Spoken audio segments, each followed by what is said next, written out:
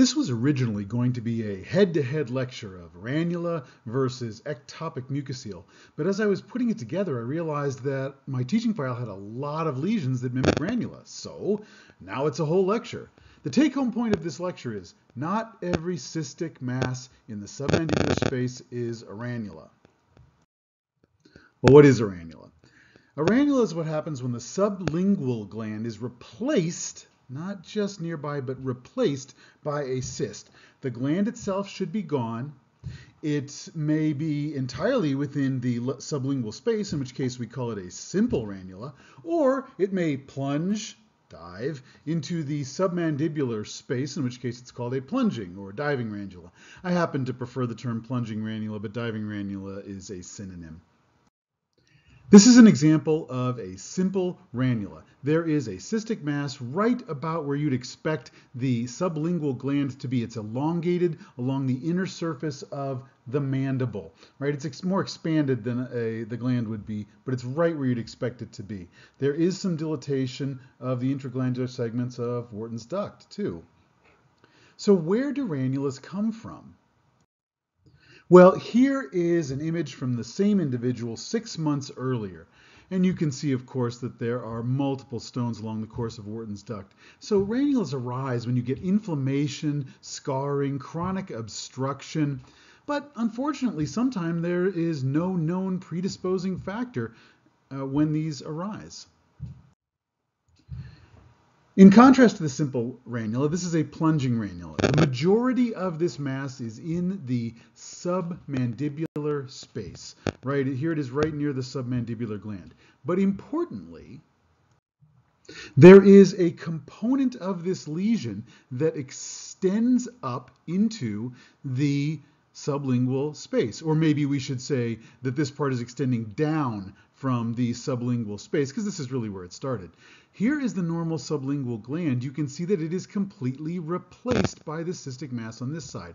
And there's a little neck where the lesion extends through the mylohyoid muscle. This is the boutonniere deformity in the, uh, the mylohyoid muscle itself. Like any cystic mass, ranulas can become infected, and when they do, they look ugly. Look how heterogeneous, there's thick uh, areas of septation down the center of it, a thick rind of enhancement. This looks really, really ugly. The clue that you're dealing with an infection is all the inflammation and cellulitis elsewhere in the neck, but it really has a horrible appearance. Once again, though, you've got to find the communication up into the sublingual space, and there might be a little bit of residual gland, but most of the sublingual gland is replaced by this cystic mass. That's how you know that you're dealing with a ranula, an infected plunging ranula. Let's take a moment to discuss some of the terminology that we're using here and throughout this lecture. A mucocele is used in two different ways. It's a fully obstructed air cell, bony air cell, that is filled with mucus and it is under pressure and therefore the air cell starts to remodel. We also use mucocele for any pseudocyst that is filled with mucus. So what's a sialocele? Well, a sialocele is a mucocele that has arisen from a salivary gland. It contains saliva and it contains mucus. A ranula is a sialocele that is associated specifically with the sublingual gland and has completely replaced the gland. So a ranula is a type of sialocele, which is a type of mucocele. All right. So if a ranula is a type of mucocele, then any mucocele in the submandibular triangle must be a plunging ranula, right? Not exactly. Here is a cystic mass in the submandibular triangle. This is a mucocele histopathologically, but there is no communication up into the floor of mouth. There is an intact mylohyoid muscle. This mass is exclusively below the mylohyoid, exclusively in the neck, not in the floor of mouth, right? So this didn't arise from the sublingual gland, so it's not a ranula. This is a sialocele that has arisen from other salivary tissue. It's not connected to the sublingual gland or the submandibular gland, so it has presumably arisen from ectopic salivary tissue that exists along the line between the submandibular gland and the sublingual gland. You can see salivary tissue there normally, and you can form mucoceles from that. Okay, here is a cystic mass that really is right where you'd expect that sublingual gland to be, right? It is right alongside the inner surface of the mandible. But there's a couple things that differentiate this from the ranulas that I've been showing. One is that there is nothing, no tissue between the cyst and the bone. It is right up against the bone. That hasn't been true to this point. But even more importantly, here is the sublingual gland being displaced away from the bone, away from the mandible by this mass. This is something that has arisen off of the mandible itself. And if you've been looking carefully, you've seen all of the infiltration in the subcutaneous fat. This is an infection. This is a, a dental abscess. Right, a dental abscess in the floor of mouth, displacing, not replacing, the sublingual gland.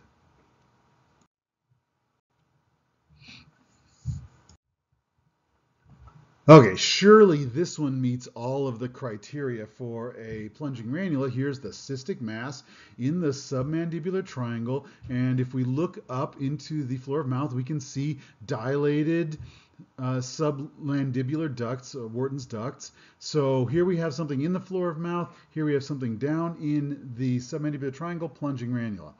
Well, be careful. You can see that there is still a sublingual gland here. That's your clue that this is not a ranula. It hasn't replaced the sublingual gland.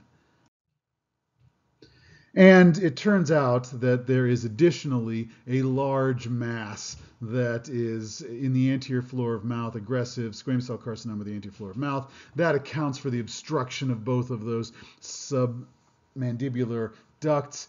And this is a metastatic lymph node with central necrosis. So cystic lymph node in the submandibular triangle, not a plunging ranula. The key there was A, this big mass, and B, the preservation of the sublingual gland. Okay, a quick trip over to MRI. So here is a, a cystic mass com almost completely filling the submandibular triangle, sort of surrounding the sublingual gland there. And you can see that it is extending up into the floor of mouth. It is sitting right along the inside of the mandible, about where you'd expect the sublingual gland to be. So you got a big cystic mass in the submandibular triangle communicating up into the sublingual space. Why isn't this a ranula? Once again, look for the sublingual gland. Here it is on the contralateral side, here it is on the affected side. That's the sublingual gland. And in fact, even the mylohyoid muscle has been displaced away by this infiltrative mass. As you might have guessed, if you noticed how infiltrative this is, little tendrils of the of the abnormality extending into surrounding uh, planes. That's pretty characteristic of veno-lymphatic malformations. So this is a lymphatic malformation of the submandibular space. Preservation of that gland critical for this. It's not arising off of the sublingual gland. All right, how about this low density object right here. It's coming right through a deformity in the mylohyoid muscle. Surely this is plunging down from above. Well, it is plunging down from above, but it's not a ranula. This, compare the density of this tissue to the density of the other glandular tissue. It is the same type of tissue, right? It's got the same characteristics to it. This is actual salivary tissue, not a mucocele. And yes, it is extending from the floor of mouth, right where you'd expect the sublingual gland to be, down into the uh, submandibular triangle. It is going right through that boutonniere defect in the mylohyoid muscle just like a plunging ranula does, but this is not a cyst, this is salivary tissue. This is normal ectopic salivary tissue between the submandibular gland and the sublingual gland. It is much more evident on the right side than on the left side here. Uh, this is just normal asymmetry. right? This is normal salivary tissue in a ectopic location through that boutonniere deformity, but it's not a cyst, therefore it's not a ranula. But don't get cocky about that. Here's a very similar case. This is soft tissue again, looks a lot in character like the um, like the submandibular gland, right? But this is mucoepidermoid carcinoma arising from the sublingual gland and extending down through the boutonniere defect in the mylohyoid muscle. These do look a lot alike, but this is actually an abnormal gland. Compared to its counterpart, it's inflamed, um, it's obstructed by this tumor. Uh, but not everything that extends along this line between the sublingual gland and the submandibular gland is normal salivary tissue. Sometimes tumors do that too, so be careful before you blow these things off. That's mucoepidermoid carcinoma of the sublingual gland. Okay, for sure, this tumor is going to meet all of our criteria for a ranula there is a large cystic component in the submandibular triangle. There is continuous extension up into the floor of mouth, right? Here is the sublingual gland on the other side. I don't see anything like that on this side. It's separated from the mandible by a small amount of tissue. Everything that we looked for in a ranula is here. Why is this not a plunging ranula? First, let's take a measurement. Is this really water? Well, if I measure the Hounsfield units on this one, I get negative 2. Negative 2 Hounsfield units. That's not water. Shouldn't be below zero.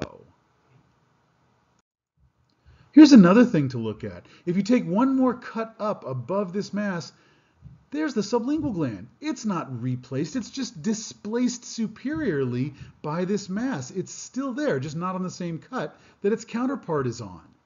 So it's not replacing the sublingual gland. It's got a density that is less than water. So what's a cystic neck mass with sub-zero Hounsfield units? It's a dermoid cyst. This is a path-proven dermoid cyst. Maybe you could have clued in by noticing that it had sort of a thick rind of soft tissue around the outside. Maybe you could have noticed that's a little darker than uh, most of the cysts I've been showing you. Um, tough case right? Some subtle differences, but again, finding that sublingual gland, even though it's been displaced, finding that gland is a huge clue. Well, that's a lot of different things that look like plunging ranulas, but aren't plunging ranulas. So be careful before you throw out that diagnosis. It's a fun diagnosis to make, but there are pitfalls that you really want to avoid.